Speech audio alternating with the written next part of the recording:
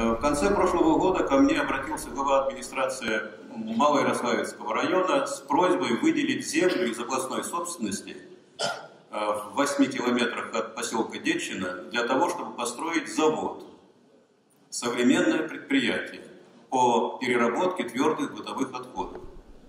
Я дал ему согласие. О проблеме утилизации ТБО в Калужской области не знает только ленивый.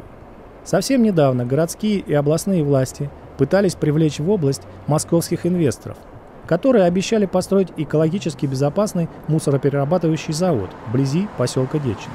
Вот только детчинцам такая идея пришлась не по вкусу. Активисты поселка вышли на улицу с протестами. Да что говорить, практически провели вслед за Крымским свой собственный референдум местного значения. Их, впрочем, можно понять. С их улиц еще не до конца выветрился запах переполненного московским мусором Ерденевского полигона. Новые попытки властей вернуться к вопросу об утилизации стали предприниматься в декабре 2015 года. В интернете появилось письмо, в котором говорилось о намерении приобрести участок для организации полигона ТКО недалеко от поселка Юбилейный. Люди сполошились снова. Ведь данную информацию власть не обнародует и ведут свою деятельность скрытно. Вы сейчас загадите там и весь край отравите. И прекратите говорить, что это будет завод высшей категории. Никогда это не будет. Заводом высшей категории. Рыба воняла, гнила так ловили рыбаки, ее есть невозможно, оттуда слили. Вот мы сделаем, мы построим. Ничего построим. Не пришло к нам сюда и дальше ушла вот эта вся вода. Значит, мы будем собирать подписи, мы будем проводить собрания, что угодно. Жерелот, конечно, больше касается. Да жерелот, честно говоря, это вот как вы, вынес ведро помоев, знаете, не, не себе, а соседу под забор. Мой дом подальше, а соседу поближе. И вот так вот туда ему. Вот так это получится. Это, окажется, в отношении Калуги мы поступим. Если, если вдруг что-то мы здесь, как говорится, дозволим сделать. Сейчас на нас все смотрят. Вся Калуга, Северный, Кубяки, Байконур, все смотрят на нас. Уварова, Починки. Отобрать, как, как... Пусть Артанумонов там у себя строит. Где у него дача. Да. Вся Калуга против него, а все равно он, его избрали. Эколог Алексей Стрельцов считает, что проблема такой реакции населения в плохой просветительской работе с гражданами. Правильно, все говорят, а мы не верим, что у нас будет хорошо. Нам всегда обещают одно, получается другое. Ну, хорошо, смо- смотрим мы на это. Да, народ возмущен, да? Но возмущен чем? Во-первых, отсутствие информации. У него нет информации. Второе, народ не верит власти. Все говорят, что что бы там говорят, нам супер-пупер будет хорошо. Никогда у нас этого хорошо не будет, будет плохо. Значит, нужно доказывать, во-первых, что это э, действительно, так сказать, соответствует экологическим требованиям, вот это вот все, то есть экологического вреда не будет.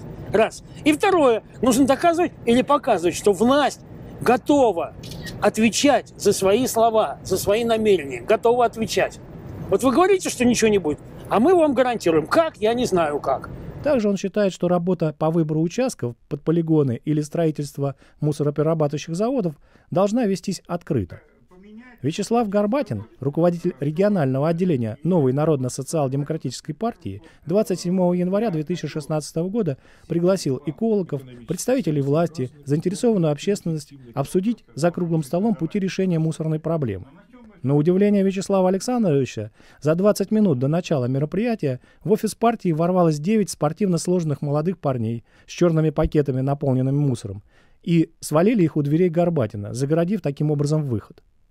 Э, меня, конечно, удивляет то, что Артамонов, с одной стороны, призывает всех граждан принять участие в решении этой проблемы, а с другой стороны, когда мы захотели обсудить конкретные действия, то появляются эти молодчики с мешками и с криками «вот тебе за то, что ты не мог решить». К сожалению, у меня не было никогда полномочий для решения этой проблемы.